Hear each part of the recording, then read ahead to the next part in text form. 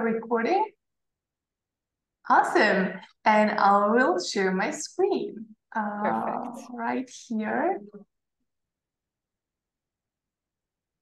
And hopefully we can already see my screen here. So hello everyone. Let me double check that we are streaming live. Yes.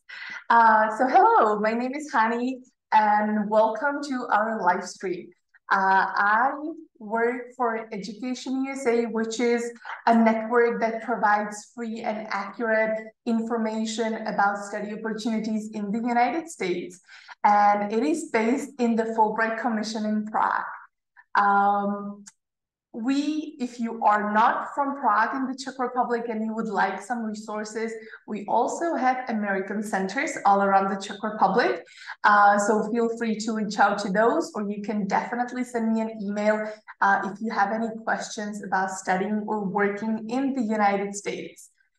And our free services or uh, consultations, they can be in person or online. We have a library where you can borrow books and we do have live streams as today or webinars or other in-person events. So you can find out about everything we do online on our social media, Education USA Czech, or if you scan this QR code that you see here, uh, you will get your monthly newsletter and you will also learn about everything that we do here in Education USA. And today, uh, I will leave the floor to my colleague Anne, uh, and we will talk about Plan B because we dedicated November to um, liberal arts colleges. And uh, we call this webinar a Plan B because sometimes it, uh, you know, it's just you apply to the United States and uh, you possibly get in, but the finances can be a big issue. So today we prepared a plan B for you that uh, you might also try. So, and thank you so much for joining us today. And the floor is yours.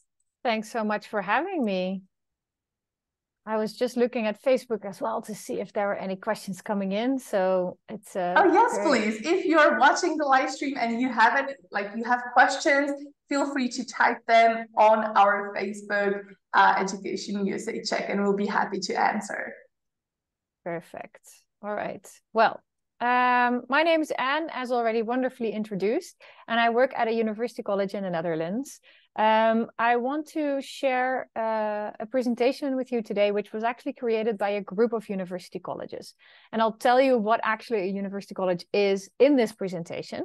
But I just wanted to give credit to my colleagues because they worked very hard on the content for this presentation as well, and they deserve some uh, recognition for that. So in the Netherlands, you see that these university colleges that I'll be talking about are spread out throughout the country. I'm actually based at Leiden University College, which is part of Leiden University, but is in the city of The Hague. Now, first and foremost, before uh, we dive into what university colleges are, I want to tell you a bit more about studying in the Netherlands because maybe you are not familiar. So, um, why would you choose the Netherlands? We've asked our students this, and what they told us was basically they chose the Netherlands for a couple of reasons, which I will outline. Um, one of the reasons was that it really gave them peace of mind in the sense that you'll get a really good quality education in the Netherlands and it's close by to home as well. So it's very easy to travel to. Um, and the degrees are recognized around the world, not just because the universities are highly ranked, but also because the degrees are uh, accredited.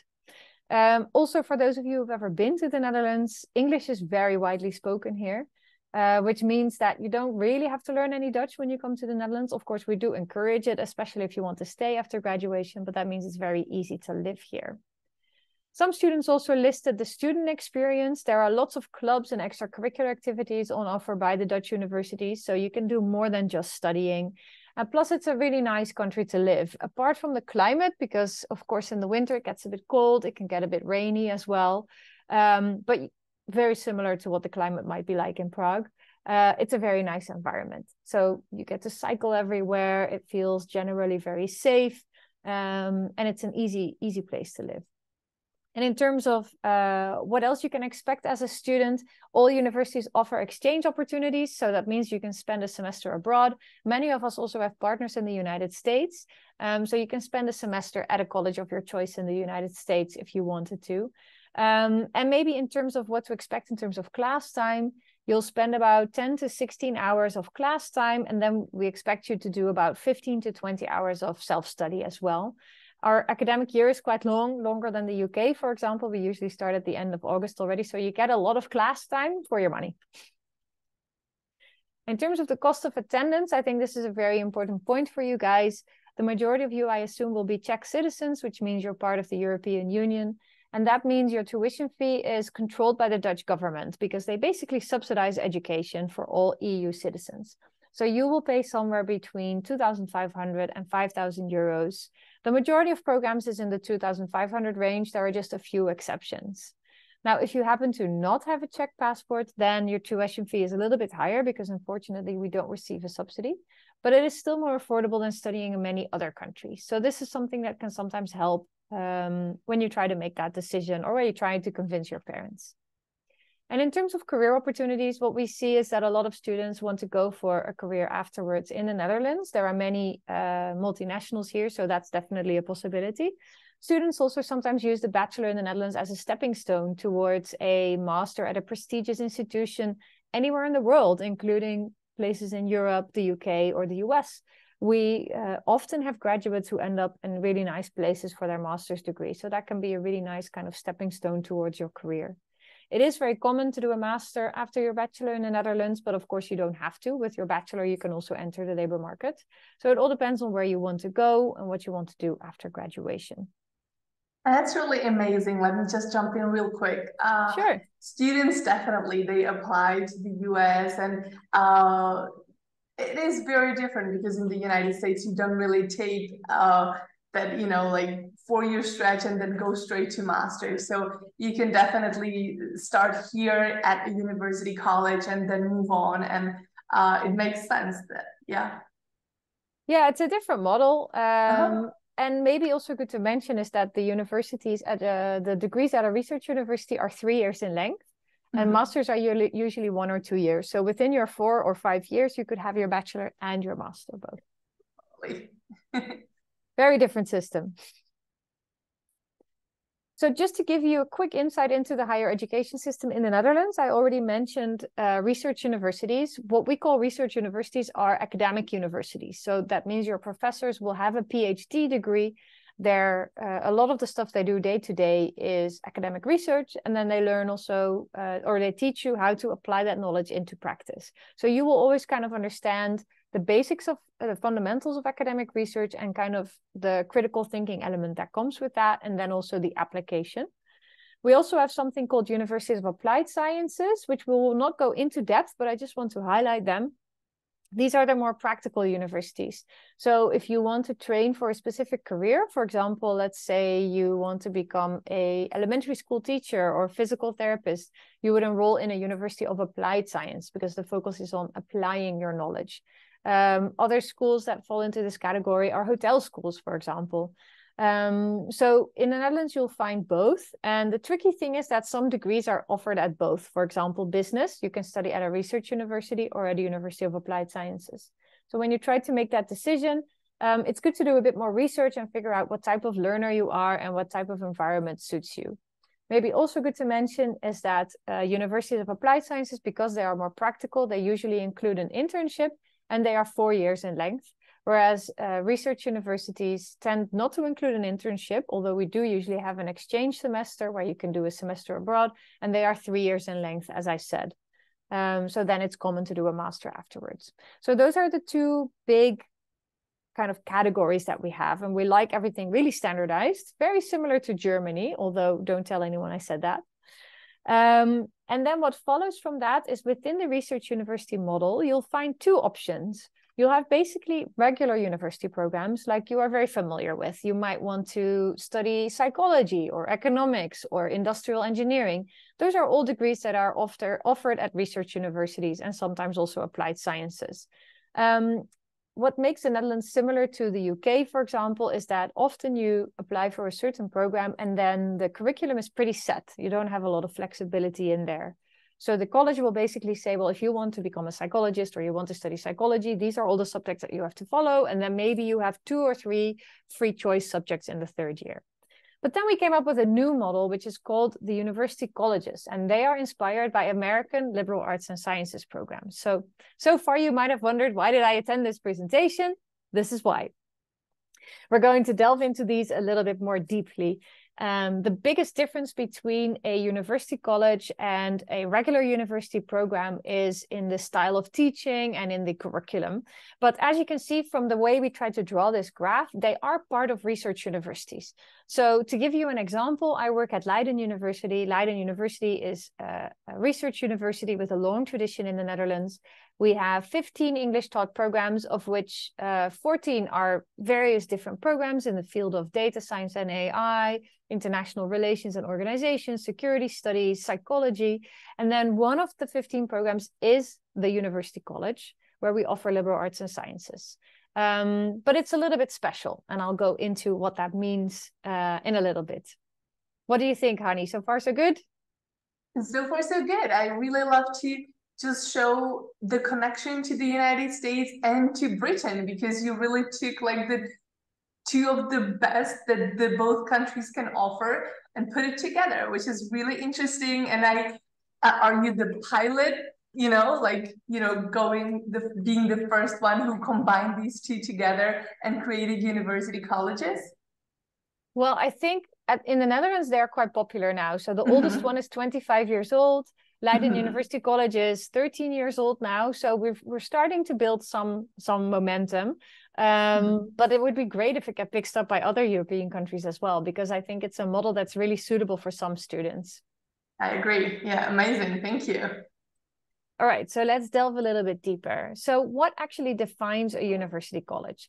A university college is usually an honors college, so it's a slightly more selective college within the research university. Um, and we teach liberal arts and sciences curriculum. So the American style liberal arts and sciences is kind of part of this program, um, although we all do it in a slightly different way. So that's something that's worth looking into if you're really interested in these colleges. Um, and I'll give you some examples in a little bit. Uh, another part that's really important of a university college is that it's a close knit academic and social community, just like the traditional colleges in the UK. Uh, for example, within Oxford and Cambridge, you have these colleges that have really close knit environments. So we wanted to bring that inspiration to this concept as well. And in a lot of cases, that also means there's some form of on campus living. So you're not just studying, but you're also living on the campus where you're learning to create that close knit community. Um, and finally, a really important factor of a university college is that it's highly international, both in student body as well as staff. It, the exact rates and percentages per college differ. Um, but for example, at Leiden University College, we're at 65% international students. So you definitely wouldn't be the only one. You'll find lots of students from different countries in Europe and a couple from outside Europe as well. So what's actually the British influence? I mentioned this link already a little bit to these colleges. So within Oxford and Cambridge, you have these really traditional colleges and students who join them, they become part of, of a community and they also have a bit of pride of that. Um, and we, the way we've created that is basically by putting the university college, while it's part of a larger university, usually in its own environment. Um, sometimes that means it's its own building. Sometimes it means it's a campus that's kind of remote. Um, but it's kind of this this kind of yeah special community that you you become part of. What's also important is that the colleges are small in scale. So the colleges in the Netherlands vary in size. Usually it's between 300 to 900 students in the college in total, which means between 100 and 300 students per intake. Um, and also we offer small scale classes. So we have a special accreditation from the government, which allows us to really keep classes small, which means it's a little bit more expensive, um, but it's a really good way for you to engage much more with the material. There's a really strong focus on extracurricular activities. So you do more outside of your studies than just um, only focus on studying. Um, and the extracurricular activities also are kind of tied to what happens in the college if you want to. So we have a lot of students who start their own clubs and their own societies, for example. There's a lot of room and a lot of invitation for you to do stuff to broaden your horizons because that's kind of the idea behind this type of learning. And I've already mentioned it, sort of, usually the colleges are residential, meaning uh, you would live on campus. Um, it varies a bit from college to college, whether that's the entire duration or just a part of the studies. And some of them don't have it at all. So it is worth looking into this when you're exploring University College, whether there is a residential aspect or not, um, and for how long you would live on campus. But you'll find different uh, style campuses. For example, University College Utrecht, which is one of the colleges I made this with, have kind of an American style campus with a green uh, space in the middle and then all the buildings around, a bit more uh, remote to the side of the city. Whereas uh, Leiden has an urban campus, meaning it's a building right in the city center. It's a mm-hmm. high rise uh, where students live and also study. So different models available. That's really cool. And that's very special for Czech students because when uh, Czech students study at a university in the Czech Republic, there is no campus life. Like they don't get to experience it. So it's wonderful that uh, you provide that for sure. That's very nice. That's great yeah. to hear. Yeah. Um, and then in terms of the American influence, let me go into that a little bit as well. So what we took from America was the kind of multi and interdisciplinarity. So this idea of liberal arts and sciences where you get to explore different things because you're still young. Um, and actually, for anyone of any age, it's valuable to explore different topics. But um, especially when you're in this kind of developmental stage where you're trying to figure out what suits you, um, and just, I mean, I don't know what it's like for you, Hani, but when I think back to my university days, I studied a specific topic, but I don't remember a lot of the actual factual stuff that I learned. The thing that I remember is mostly the skills, the way of thinking, the way of reasoning. I, would you agree that that's the same for you? Exactly. And I have to say that it was very hard for me to decide that I had to decide so early on. And I had like I couldn't change it, you know. Whereas when studying liberal arts, there is a lot of flexibility, which is something that I advise a lot because I had to decide and then I had to stick with it. And I, I decided, you know, it, I decided, well, it was a really good major, but, you know, the pressure was difficult at, at that time. So, and again, as you said, um, I remember the conversations. I remember uh, the hands-on activities. I don't really remember the facts because it's something you can Google, but I remember the experience and the yeah talking with teachers and and then internships for sure. Yeah, I can totally relate to that. I had exactly the same experience as well in my studies that it was really hard to pick something. And for some students, it can also seem really daunting, right? Like I'm going into a bachelor, but I don't know yet what I'm going to major in or what I'm going to specialize in. Or actually, maybe you like that idea, but maybe your parents are a bit scared of it. That's also possible.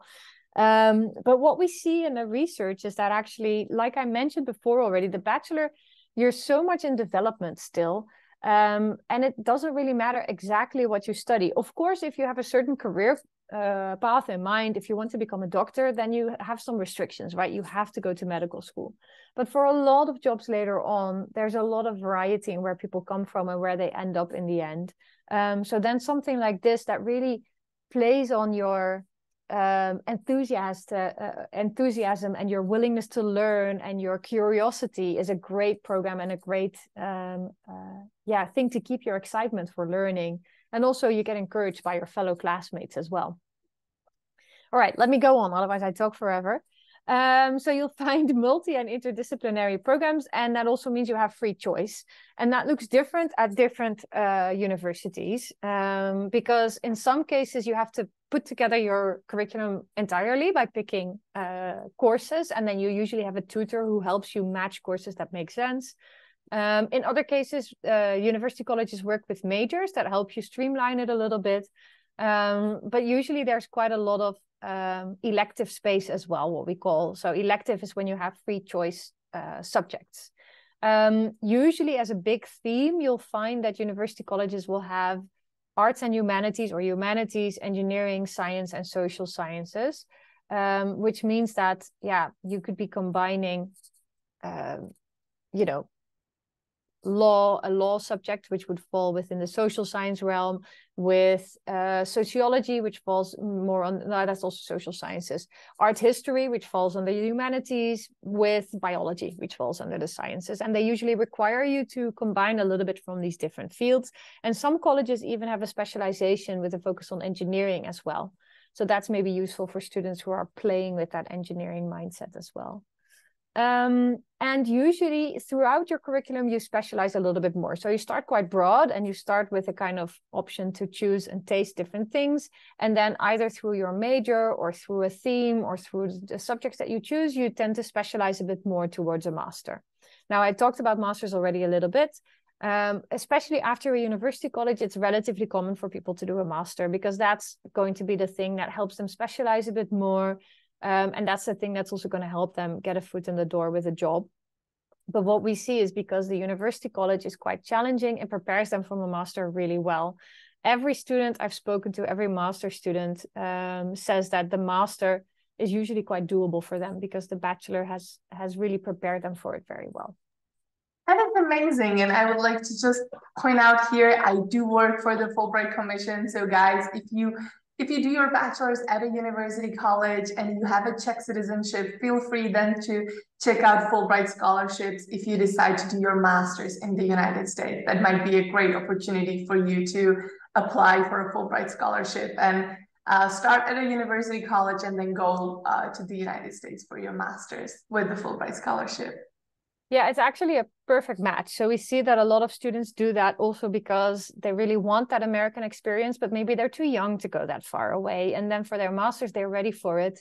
Um, and uh, the masters or the masters in the US accept the degree from the Netherlands uh, because the standard here is three years and it is accredited. So we see that our students do very well and they end up in really prestigious places actually.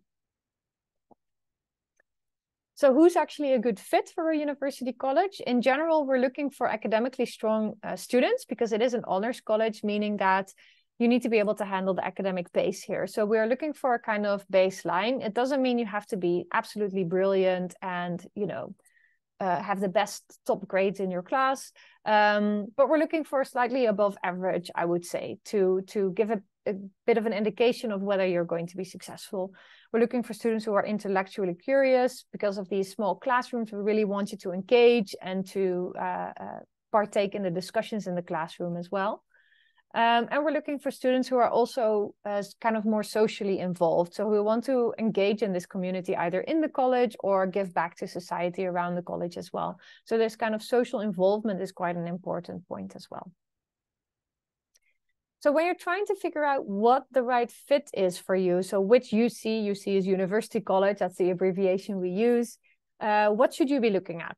Now, we should, uh, I would recommend to look at the curriculum options. So you know what are the uh, how much freedom is there do you get to completely compile it yourself or sorry or do you uh, have to go into a major and if so do the majors suit you um, is the topic that you want to study available in this college what is the teaching style um, for example some colleges use problem-based learning does that suit you or does it not suit you at all what is the residential structure is it within a city or within a small town is there housing or not and also very much the atmosphere and student life. I've been to a couple of university colleges and I generally find that there is quite a good vibe, a good atmosphere um, because of this community feeling. You can really sense it.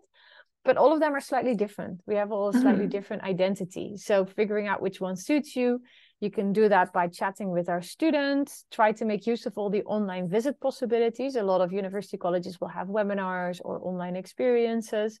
Um, and if you can, of course, to visit, but that's not possible for everyone. I agree that choosing the best fit can be very challenging. So it's great that you connect students to your alumni and they can talk to other people and ask the questions, which is amazing. That's a great source of information. Yeah, it's it takes time, but it gives you kind of insights that you would otherwise not get, and I think that uh, is something really special. And let me actually, uh, because the next slide deals with, okay, how does the application actually word, work? Um, and a big difference is that within the Netherlands, we generally are quite an open university system. We really believe in access to education. So in the Netherlands, we stream the students kind of into a pre-university or pre-university of applied sciences or a vocational stream already uh, stream already in high school. Um, so a lot of programs in the Netherlands, if you have the right high school diploma and the right subjects, then you will be given a conditional offer. Um, what's different is that university colleges do have a selection procedure. So that is uh, something that is that you have to be aware of. But of course, since you guys are already exploring the United States, you're already prepared mentally um, to uh, to go through a selection process. I can imagine that sometimes it seems a bit daunting. Um, in general, I would say, yeah, you guys, when you're preparing for it and you go through it, you'll be fine, honestly. Um, but what I'll tell you a little bit more is about what that actually looks like. Um, in general, within the colleges, you'll find the most common uh, option is a September intake you don't see so much um, another uh, February intake anymore at the moment. But I think that aligns pretty well with your um, academic year. Yes. Um, what you'll also find because it is selective is that you'll find earlier deadlines. So um, this between December 1st and June 1st in general. So you have to be prepared to start on time. So, what are the similarities uh, between a university college and any other degree in the Netherlands? Let me first outline that. So, the very first thing we want you to do is to register in Studielink, which is a national registration system. You create an account and you say for which program you want to apply. And you have a maximum of four options in Studielink. So, you can have four university colleges or you can have four different programs in different or the same university of your choice.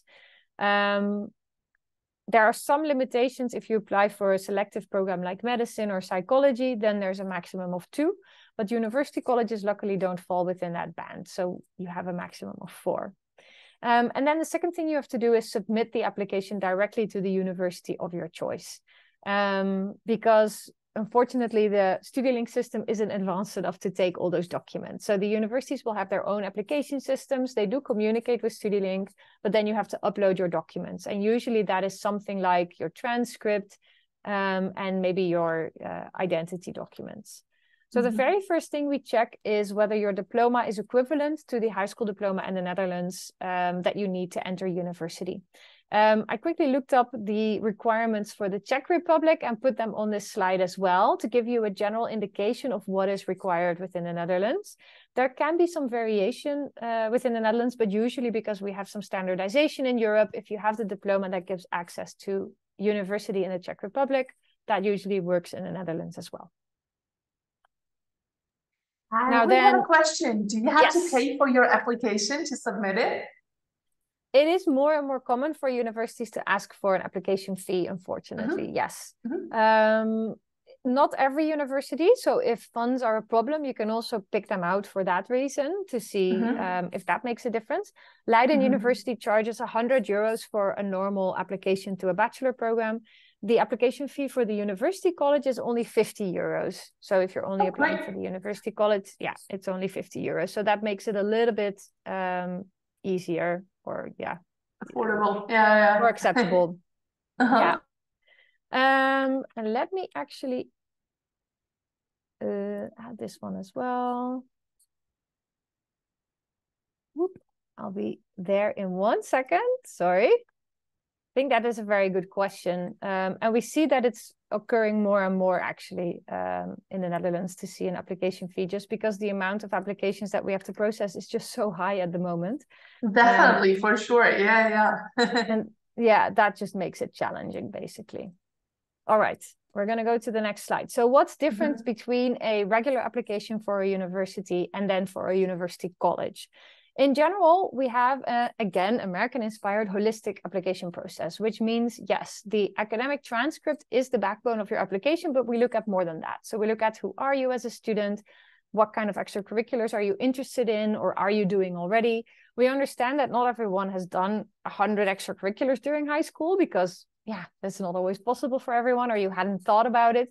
So we can be flexible with that, but we want to see an indica- indication or of what kind of stuff you've done outside of your studies and what kind kind of student you are. So are you an active student?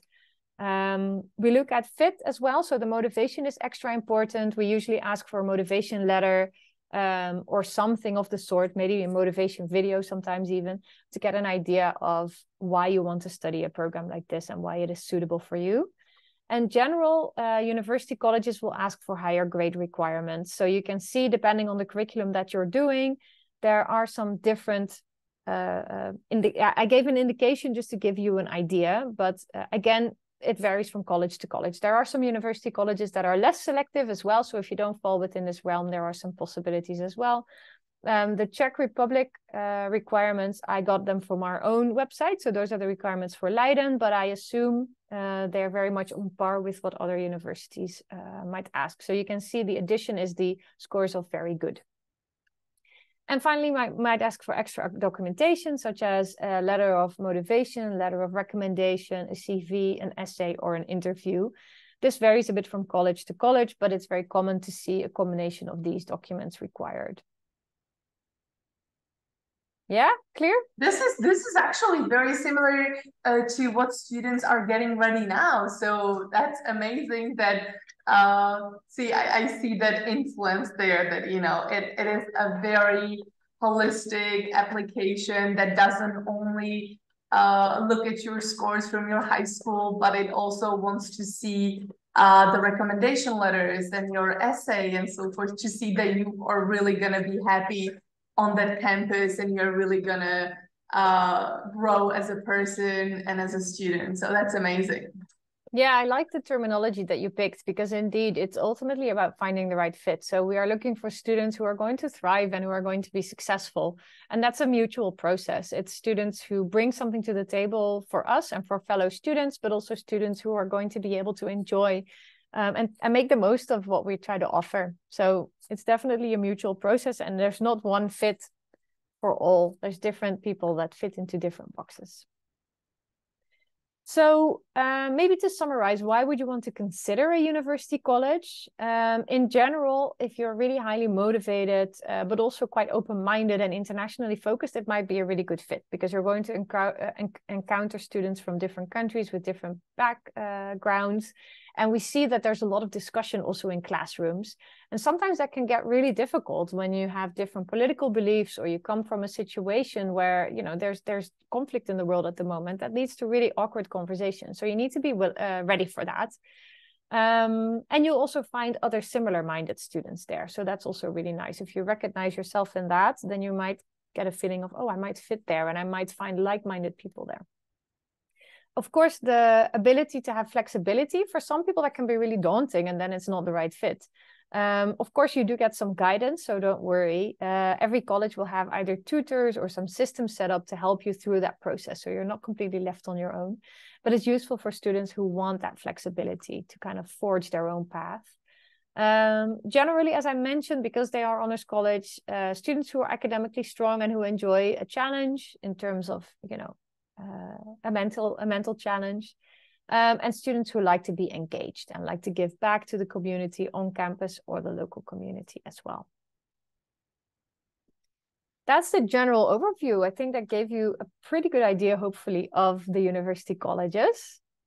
For sure. Yeah. Thank you so much for sharing the overview and introducing university colleges and what it has to offer because i think that all the students when they create their college list it you know they they put in the dream schools and they put in the reach schools and the safe schools. And i always tell them you know this is wonderful but also create other plans except for the us so this is an amazing plan b basically that is just so um it's excellent you know like it has everything that they're looking for in the united states. It's just closer you know? So that's really something that i wanted them to hear that it is possible to study closer to home and they'll be as prepared as they would from the united states and they can definitely continue. If the dream is to go to the us they can definitely apply later on.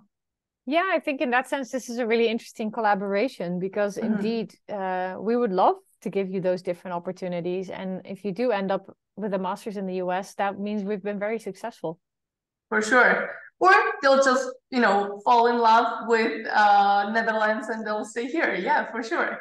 That's also possible. That's uh-huh. also possible.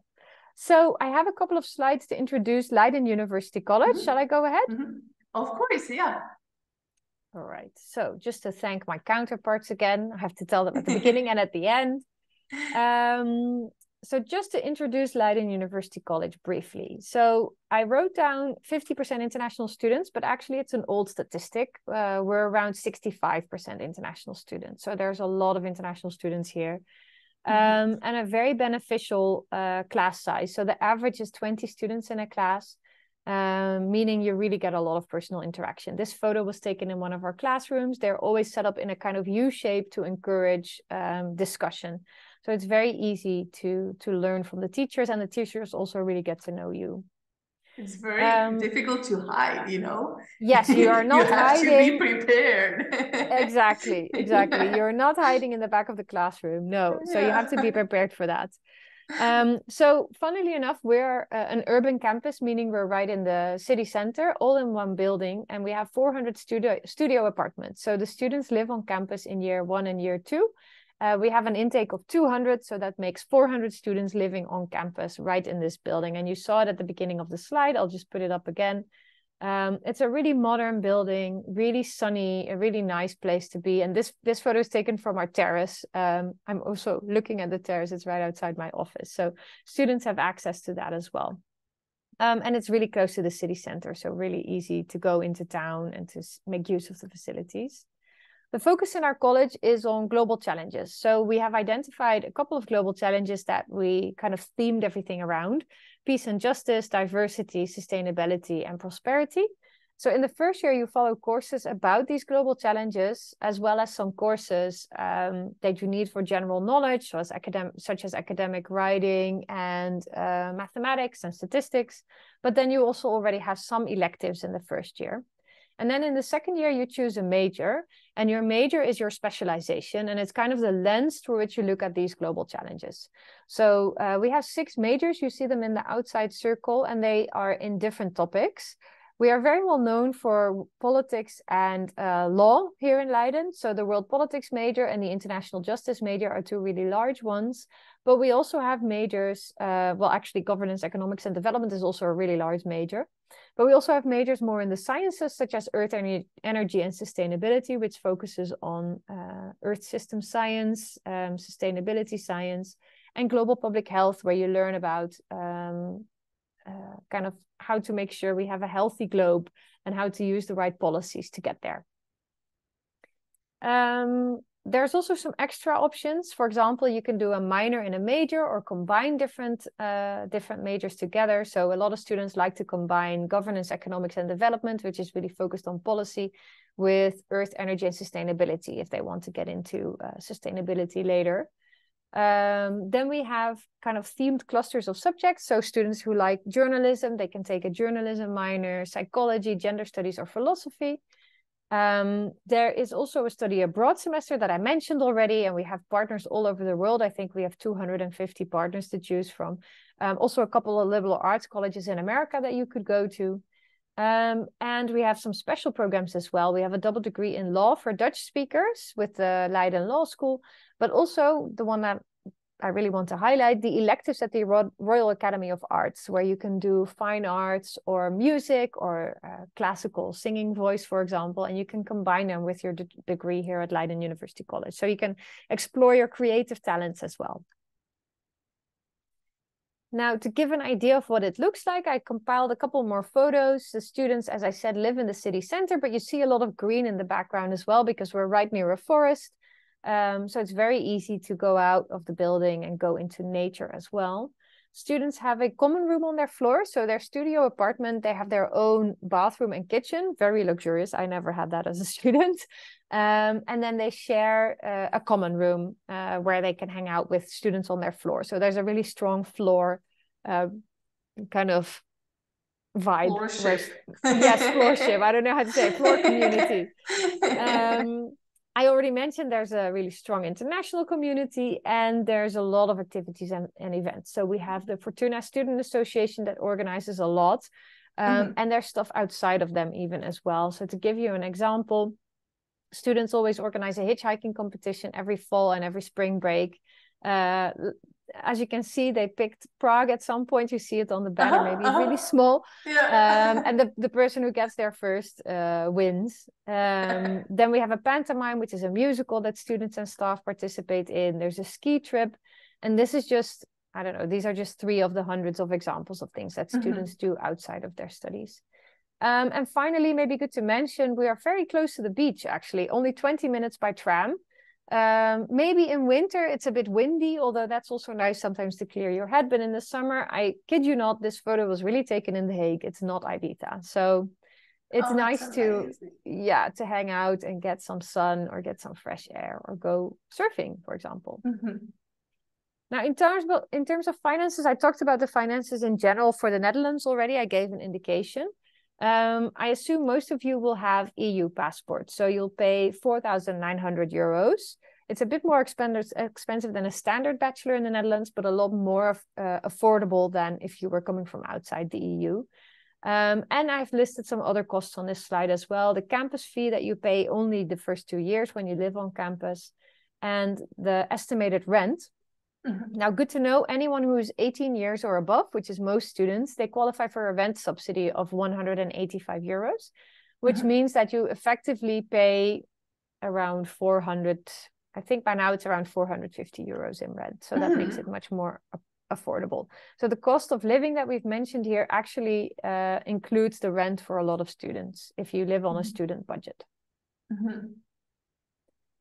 Now, in terms of the application, we look at a couple of factors that I already mentioned. We look at your motivation. So, do you understand the program, what liberal arts and sciences is all about? We look at your academic achievements. So, are you the right fit? Can you handle the level? We look at your English proficiency through some standard tests like IELTS or TOEFL, um, and your maths proficiency. If you don't have the right math proficiency, we are quite flexible with that because you can also, uh, if the rest of your application is strong, you can still be admitted to the college but then you'll have to make sure you pass the math course in the first semester. Mhm. Um, and finally, your experiences. So, who are you as a student, and what have you done outside of your studies? What are your interests, and what will you bring to the table? We have actually an early bird application deadline of the 1st of December. And the main benefit of that is that you would get an answer already middle of March. So we encourage everyone who is able to to apply by the 1st of December. Our regular deadline is the 15th of March, and then the outcome will be announced around the end of May. So still early enough, um, but maybe good to be aware of. Mhm. We actually have an experience day this week. I don't imagine anyone will travel to the Netherlands, but we are live streaming it as well. So students can join online. And we also do individual meetings online or on campus. Um, so you're very welcome to join those as well. I put some QR codes here in case you got really excited and you want to know more. You can sign up for the um, online experience day that's on Thursday, or you can sign up for email updates as well if you wanted to. Definitely. Thank you so much because there is still plenty of time to apply. And I think it is, oh, it sounds really appealing even to me, you know, like I, I thought that I would never go back to school anymore, but this sounded really amazing. And I love the view of the dormitories and so forth. So it is a really good catch. Thank you so much for introducing university colleges to Czech students. And I really hope that uh, they would consider it, you know, for their future studies. Yes, I hope so too. I hope that it was enlightening. Um, I'm noticing often that even though we've been around for 13 years, that students don't know about it. So I really Mhm. appreciate that you got so excited and you wanted to share it with them. For sure, thank you. I saw that we do have some live um, students who are watching, but I do not see any questions so far. So, guys, who are you? What who who are watching? Please, if you have any questions, feel free to type them, and we will answer them later. But as of now, thank you so much for coming and for introducing university colleges, and I'll be happy to stay in touch with you, Anne. Thank you. Perfect. Thank you for the time.